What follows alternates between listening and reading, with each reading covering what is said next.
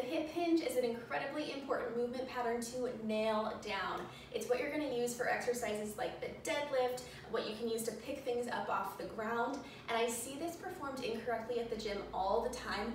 And a little piece of me just starts crying because I know that it can lead to low back injuries. So you want to avoid doing this wrong at all costs. So I'm gonna show you just with a rag today. You can also use um, a dowel, like a stick, you can use a band, whatever it might be. I'd say don't use weight, don't use dumbbells, kettlebells, barbell until you got this movement pattern aced. Okay, first you'll separate your feet parallel hip width apart and soften your knees. And I'll show you the posture from the front and the movement pattern from the side. You'll lift your chest and draw your shoulders down and back. Squeeze your shoulder blades together so that your elbow kind of turns forward, kind of rotates forward. That helps to keep everything squeezed and that posture nice and stable through your back.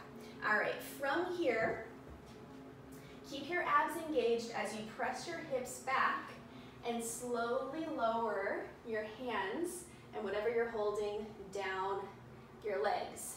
This is about as low as you'll need to go on this to about mid-shin.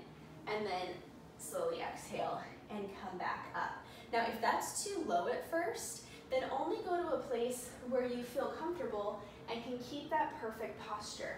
If you go and your back starts to round and you're not able to hold on to that posture, you've gone too far. So just go in that range of motion where you can keep really good form. This is what I tend to see a lot of, is that people will kind of have a loose posture in the beginning, and then by the end, they're picking up weight from here, from a rounded back, which is really dangerous for our back. So make sure, if anything else, that you are keeping your back nice and flat on this. This is not just a movement for our glutes and our hamstrings, but also for our core. It's really important to keep that tight throughout this movement to help support the perfect posture.